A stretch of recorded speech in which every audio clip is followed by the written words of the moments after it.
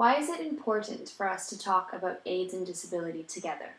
Well, because HIV affects people with disabilities, and yet if you look at the AIDS movement over the past 20, 25 years, we have not seen disability rights in AIDS discourse until very recently. So we have a lot of catching up to do. Um, the AIDS movement has a lot to learn from the disability movement in the decades of experience that it has gained um, for lobbying against issues or around issues of social exclusion.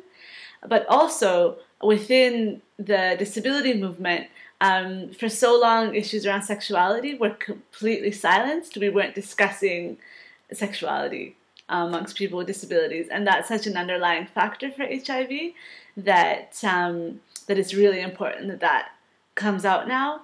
Um, and just for the the very reason that people with disabilities are becoming infected with HIV and are affected by AIDS just like anyone else, and and there's such a prevailing um, silence and invisibility around disability because we have people with disabilities everywhere. We have people with disabilities who are refugees, they're HIV positive. Um, we have people with disabilities who are gay, who are sex workers.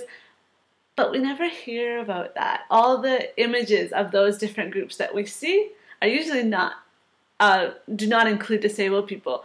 When we talk about disability, it's in its own sphere and it's talking about wheelchairs and it's talking about interpreters.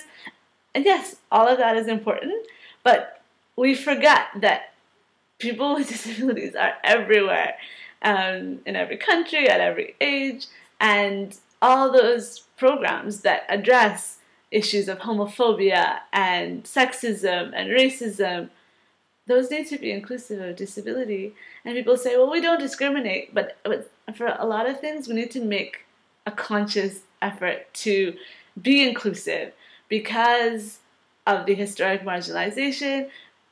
The, all those social forces will keep people with disabilities on the periphery and excluded from those discussions unless we make a conscious effort to bring bring those different issues together.